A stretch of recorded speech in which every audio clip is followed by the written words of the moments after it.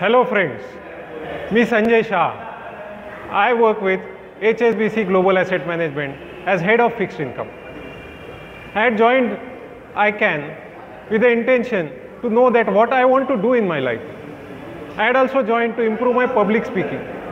Both of these things happened. But apart from this, Pathik also gave me different attitude to look at life. They also give me systems like WinSys, MindSys, ViewSys, and with that I can look at my work and mind differently.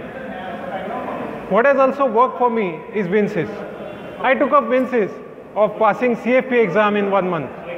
People generally take about a year to do this exam. There are multiple attempts that people take. But what I did is that I said I will finish it in one month. I did not have belief that I will be able to do it. First two weeks I was sitting in disbelief. But then I said, okay, let me give it a try. And I gave it a try. And it worked for me. So WinSys worked for me. In that sense, I have actually achieved my CFP qualification actually in one month.